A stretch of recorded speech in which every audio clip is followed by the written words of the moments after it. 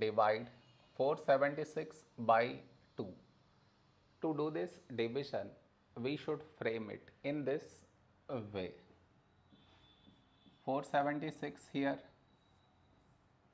2 here. This is your step 1. Next.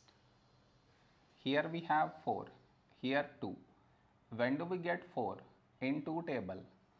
2 2's 4. Now we should subtract, we get 0. After this, bring down the beside number. So 7 down, so 7. A number close to 7 in 2 table is 2 3's 6. Now we subtract, we get 1. After this, bring down the beside number. So 6 down, so 16. When do we get 16? In 2 table. 2 8's 16. Now we subtract, we get 0. No more numbers to bring it down. So we stop here. This is our remainder, this is our quotient.